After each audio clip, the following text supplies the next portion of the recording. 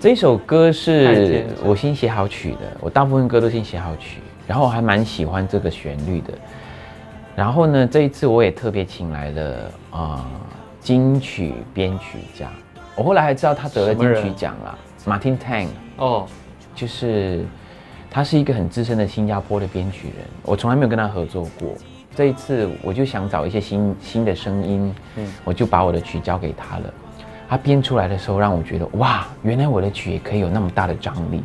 就是我通常的歌，不管是伤感的情歌、开心的情歌、温暖的情歌，都会有一点点的，就是说还是蛮温和一点。是，可是他这个编曲把整个感情拉拉大了，嗯哼，然后我听到的时候我好喜欢，而且我通常我的编曲都是钢琴的嘛，嗯哼，那这一次他用的全部都是吉他，没有钢琴的你说力度就不同了，对，那感情也不一样了。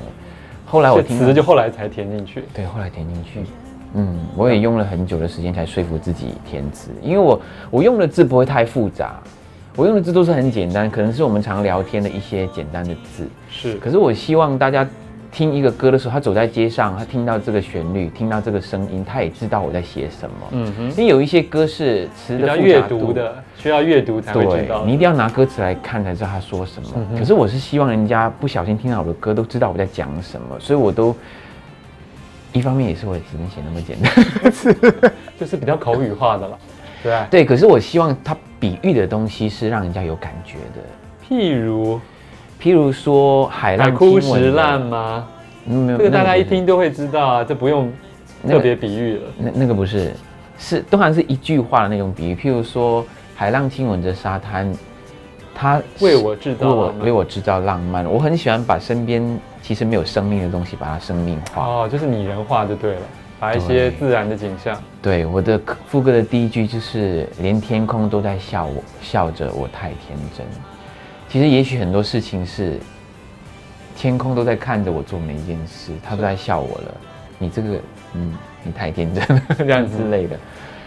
对啊。好，那我们要现场听一小段吗？好光良的新歌《太天真》，连天空都在笑着，我太天真。不是都说好我们不会改变？你曾写下的诺言，我深深刻在心里面，等待你会出现。海枯石烂那天，连世界都在看着，我太天真。不是说好要爱到最后一天。收集所有的思念，那是我唯一的眷恋。让爱随风漂流，飘向海的另一边。耶、谢谢。现在光良写情歌的感，我们说灵感都是从哪边来的？现在，因为也唱了写了这么多年了，慢慢的累积一些感觉吧，不管是别人的故事，嗯或者是听情歌、别人的情歌的一种感觉，或者是看电影的一种感觉，甚至是听人家的故事。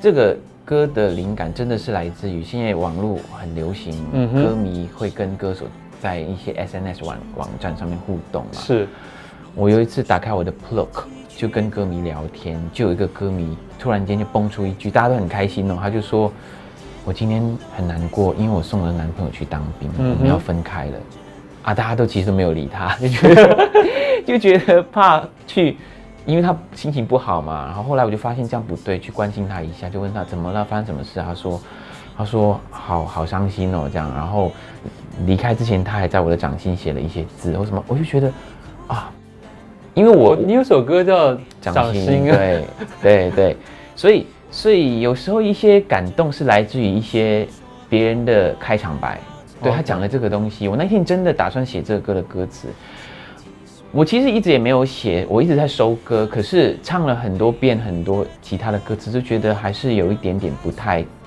有太适合的。嗯后来我的经纪人就鼓励我说啊，你来自己写吧，你来自己写吧。那天我真的打算写歌了，嗯哼，我就说你开了我想写歌那种冲动，然后你多讲一点，他就说，就是他们分开那种过程，当然他们不是分手嘛，可是我有一些人可以为了暂时跟他的爱人分开，却那么的难过，所以我就想写一个，如果这个人不再会在我的身边，那怎么办？这样，所以这首歌我就写的比较重，甚至我想象这个男生已经知道这个女生已经不会再回来了，可是他还是却愿意说。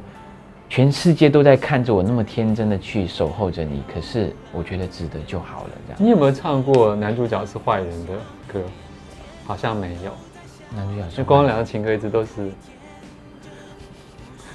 还没有唱过，可是我觉得多多少少，可是一定很多人是这样子的。你就包括你听到的故事里面，应该也是数落男生的。这个其实我有想过。在一一个歌词里面，一首情歌里面，其实听听情歌有男生去听跟女生去听，所以我每一次去判断一个情歌适不适合在我身上的时候，第一是讲这件事情会不会发生在我身上，跟我的态度是不是这样。就譬如说，有一些东西我碰到一些感情上的问题，我一定不会有这样的举动，我就会跟主持人说这不像我。你觉得如果太负面的，比如说怎么负面，就是比较负面的情绪。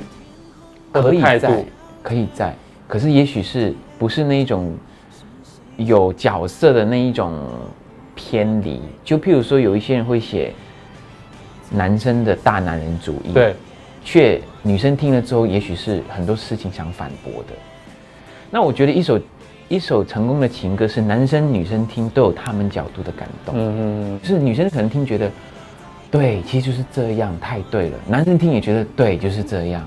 可是，也许是男生来讲男生的角度，女生来讲女生的角度。可是，当这个歌手唱这个歌的时候，男生女生听都觉得各取所需，就对。对对。可是这很困难呢。就光良提到今天这个标准，我觉得是蛮困难的。就是大家听了都喜欢这个歌，而且每个各想各的事情。我我童话有做到这一点呢。嗯。我童话这首歌做到这一点以外，他意外的让我收获，他连年龄层都没有分，他可以从六从五岁的小朋友。到老板级的人，年龄层以外也有阶层的，没有分，包括你到底是对，有一些是真的是一个集团的什么大企业家的老板，他直接告诉说：“，我太喜欢你那一首童话了。”我说：“啊，就是我觉得，就是所有人听都觉得你讲的太对了这件事。”所以我每次想写歌词或者是唱歌词的时候，第一先检查在我身上成不成立，二就是先检查有没有有一些人听了觉得我不赞成你这样说。了解。所以在你身上，大部分都是温和派的才成立，对不对？